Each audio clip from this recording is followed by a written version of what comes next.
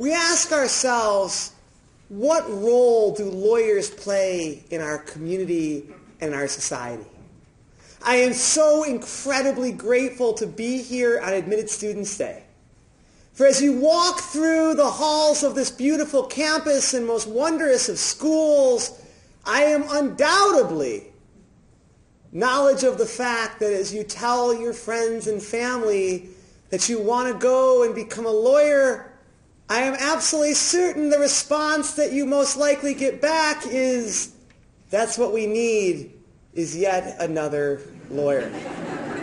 and what always makes it more entertaining is how people feel that they are the first people to ever make such a comment to you.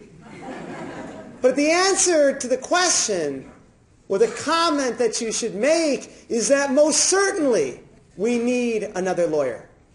Most definitely we need another lawyer. We need kind lawyers. We need caring lawyers. We need empathetic lawyers. We need understanding lawyers.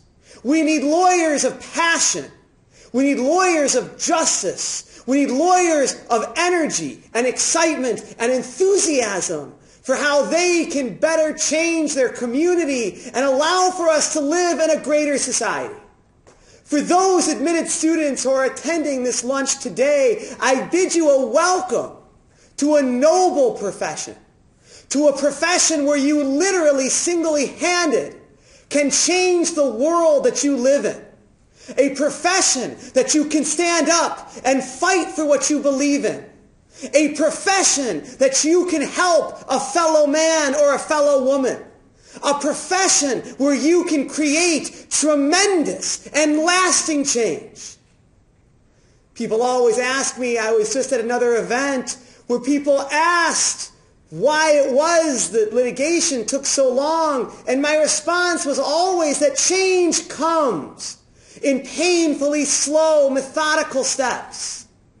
But the greatest change that you could ever find is the change that comes through litigation. The change that works through the courts. The political process is balanced by the judiciary. And it is through the power of the judiciary the order of the court, that life can be enhanced and that life can be made better.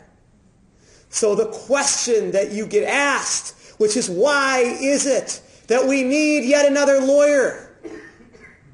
The answer is that you want to partake in a profession that will continue a tradition, that will continue a legacy, and that will allow for you to participate in great, noble, and lasting social change.